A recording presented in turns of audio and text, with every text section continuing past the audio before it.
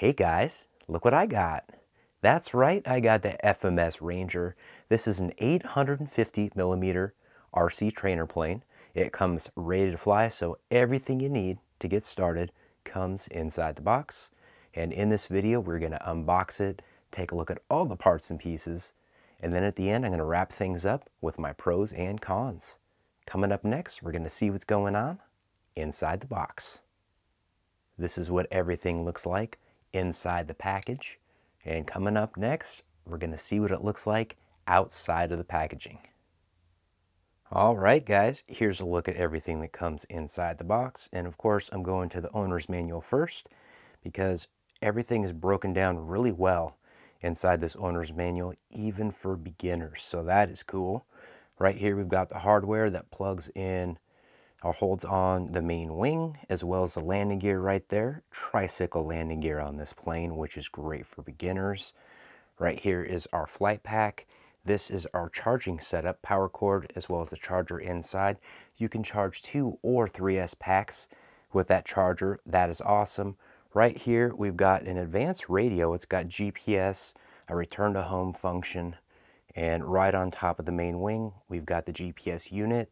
That is cool. And right here, we've got that nice looking Cessna style RC plane. And again, there's the trike landing gear. We'll get into that a little bit more detail a little bit later on. But right now, we are going to assemble it. I just wrapped up completing the assembly for this plane and it's very straightforward. You start with the main landing gear and what you do is you seat that in. Look here where I've got that set up and seat that in as deep as you can. Next, you want to add the landing gear plate and then you want to gently screw in the screws. Now what I do generally with something like this is a star pattern like you do when you're putting a wheel on a car. So that way you don't over tighten, things are balanced. It's what I do for everything. That way you don't over tighten and then damage your brand new plane.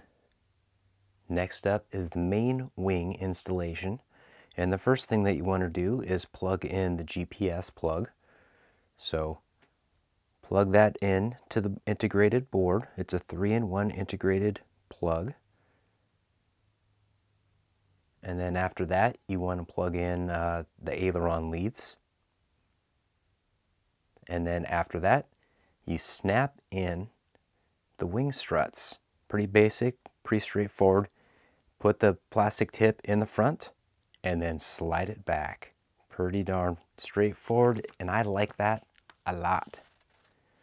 For the final step, what you do is you seat the main wing in the slots and then you take the longest screw, it's 20 millimeter screw, and then just screw it down gently. You don't want to over tighten it.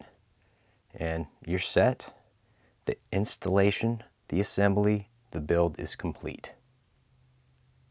Now we're going to take a quick tour of this radio.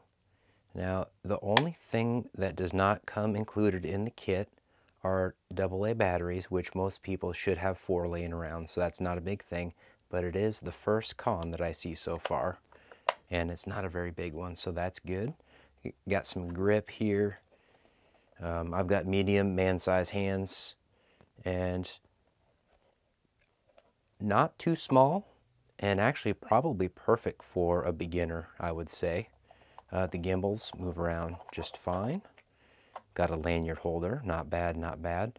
Now to turn this on, it was a little tricky. I didn't really understand what the instructions were telling me to say, but I found that you've got to hold both of these buttons down and that'll turn on the radio.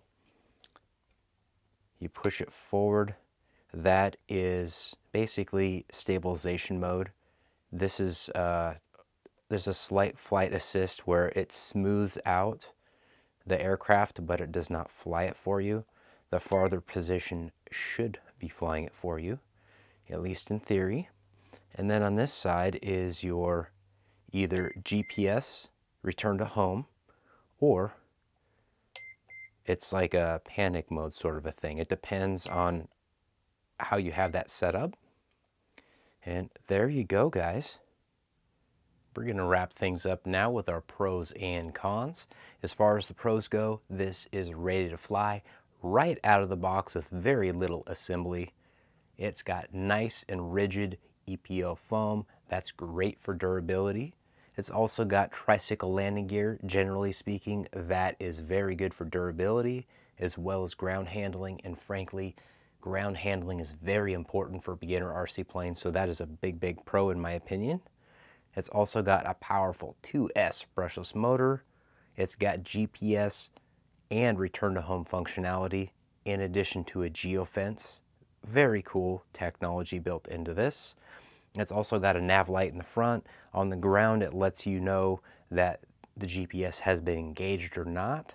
But either way, that is a, a bonus because in the air, when you come into land, you've got a nice nav light right in the front of the plane. That's very helpful, especially if it's close to sunset, things like that. When winds are going to be a little calmer, when you're really going to want to fly something like this. As far as the cons go, it does not come with AA batteries. That's the only thing it doesn't come with, which is a very minor con. And the GPS protocol is a little more confusing than it could be for a beginner. But again, if you're going to get in this hobby, you're going to have to learn stuff. So neither one of the cons are that significant. With all that being said, like, comment, and subscribe. And GB Lynden, out.